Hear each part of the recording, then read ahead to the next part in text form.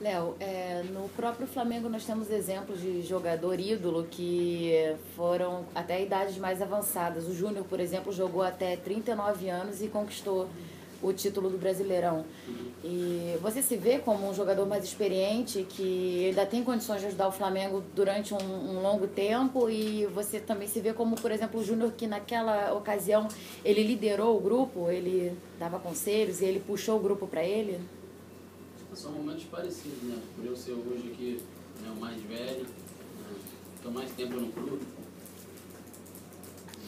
eu vou procurar dar minha contribuição da forma como ele deu na, naquele jogo. Então, eu estava assistindo esse jogo, né? eu estava no Maracanã e hoje vou ter mais uma oportunidade, aos 35 anos, estar disputando mais uma final. Então, sou grato a Deus por isso, aos companheiros aqui, porque eles fizeram com que eles despertaram isso em mim, né? eles me ajudaram a, a, terminar um ano de uma forma é, positiva.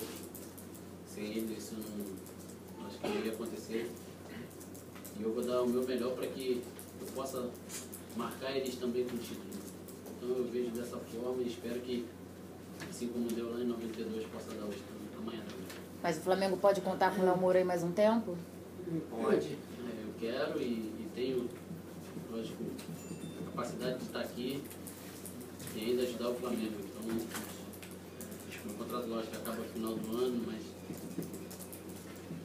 eu estou com o pensamento mesmo de disputar essa final e, e a partir daí a gente vai, vai sentar e vai decidir. Valeu, gente. Obrigado. Aí, Rei.